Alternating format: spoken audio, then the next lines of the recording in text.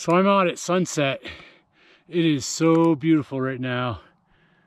I don't know, it's maybe 50 degrees, just perfect temperature. And just having an awesome night out on Wilson Canyon. This is a canyon and a trail that is about a mile and a half from home. Nice little warm up, but it's the the trail once you start going up to the canyon, it gets real rocky. There's a lot of runoff.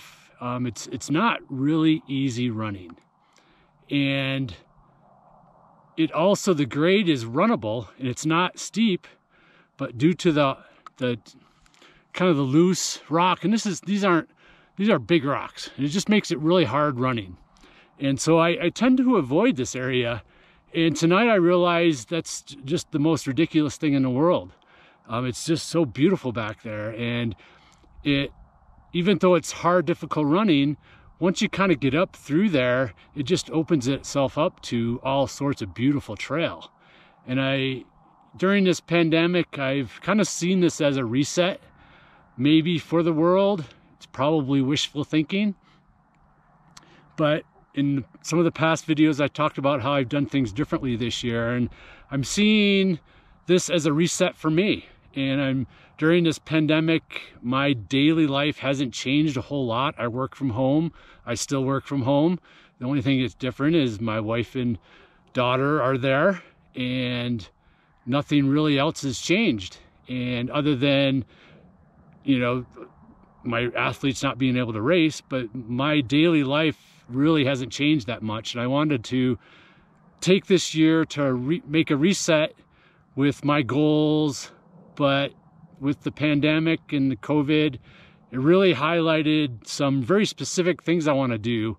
And tonight is kind of one of those, is to get out at a different time of day. Get out and experience some of the things that I normally experience one way, but see them in a different way. Like tonight, I went out at sunset. The sun's completely in a different area.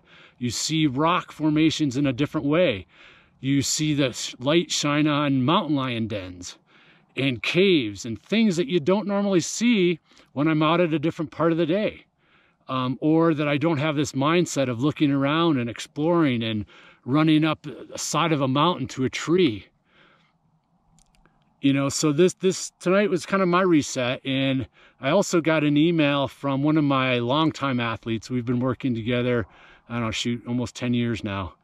And since things are getting backed up this year with races and not knowing if some of these races coming up soon are going to happen or not and what's going to happen in the fall and so we really started kind of talking about what next year is going to look like and we kind of she expressed her her interest in getting my feedback on what maybe she should do. She's um, looking to put in for Hardrock She's maybe thinking of doing another 200 mile race. Um, but I got the feeling that she needed a reset also.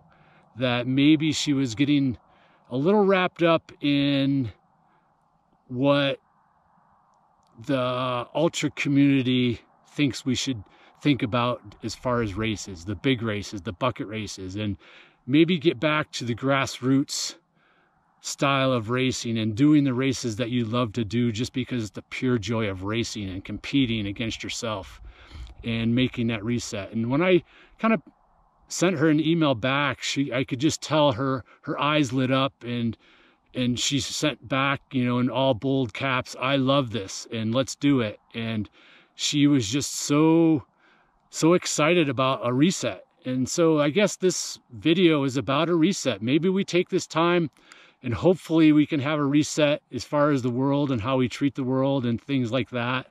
Um, but, you know, I'm not an activist. I don't, that's not my voice, but, um, you know, maybe that's part of the reset that comes from all this, but more set, more so what we can control of our personal reset and maybe look to do something different and use this time as a, as a clean slate, a, an open book with no writing on it, and you start to write your own book again and and start a new chapter, start a new book, volume two, volume three, whatever it is, and start really getting excited about the future because the future is coming and um, you know it's going to be great. and your running is going to be great. And I really, really appreciate you watching. And we're going to take all your running to next level and let's just have a reset for everybody. Okay. All right. Just kind of a little bit of a, an emotional spiel tonight, but that's kind of what sunset does to me and what tonight did to me. And uh, maybe you can uh, express what, maybe what your reset might be. And uh, let's, let's share it. So, all right. I got to get home before it gets dark. Um, time to eat. Good night.